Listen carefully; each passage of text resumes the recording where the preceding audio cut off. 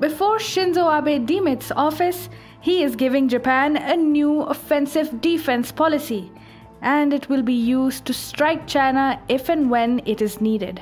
Japan's outgoing Prime Minister Shinzo Abe is demitting office with some awful news for China. Abe is giving the last push to rid Japan of mindless pacifism in order to check the growing Chinese threat.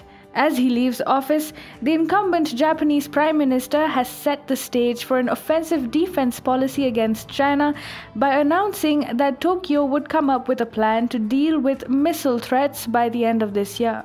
On Friday, Shinzo Abe said that Japan must strengthen its ballistic missile defense. Abe has strongly suggested that Tokyo might have to acquire preemptive strike capacity in order to meet the challenges posed by a complex security situation that Japan faces today.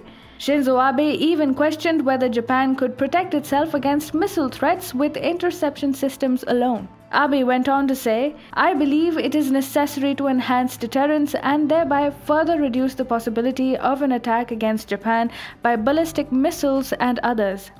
Abe's statement will have no binding effect on the new government that will be sworn in next week after it becomes clear as to who succeeds the outgoing Japanese Prime Minister.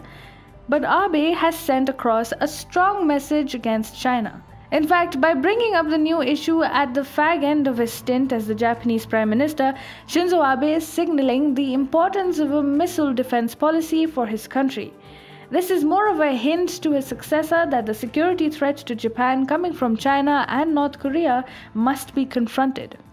And when Abe says that Tokyo would finalize its missile defense strategy by the end of this year, it suggests that the policymakers have reached close to a consensus which makes the outgoing Prime Minister believe that a missile defense plan could be rolled out soon. Defense expert and visiting professor of Takushoku University in Tokyo, Hideshi Takesada, told AFP Missile defense is one of the big issues Prime Minister Abe left unresolved.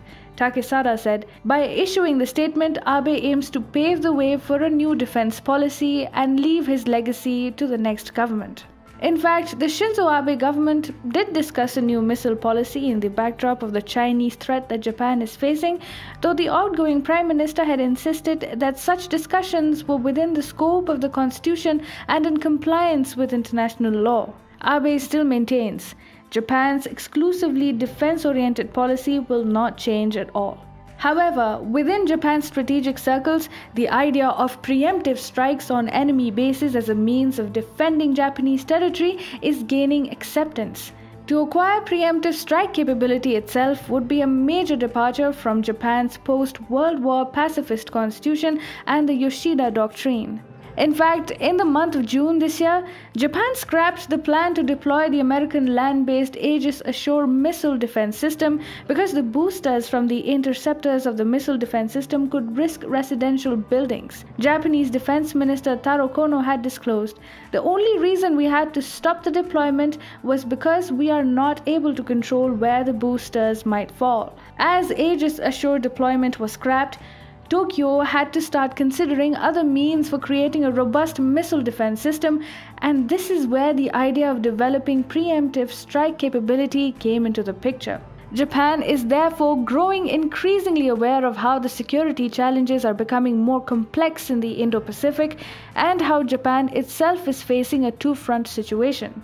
On one hand, North Korea is constantly improving its ballistic missile capability, and on the other hand, the Sino Japanese tensions over the Senkaku island chain in the East China Sea are also taking a nasty shape. For Tokyo, it is no longer pragmatic to rely completely on interception capabilities without creating a deterrent effect against its enemies. This is in clear departure from Tokyo's sword and shield relationship with the United States, wherein Washington is the sword with offensive capabilities, while Japan focuses on defense as the shield. Japan is therefore coming up with an offensive defense doctrine of its own, and this is very bad news for China.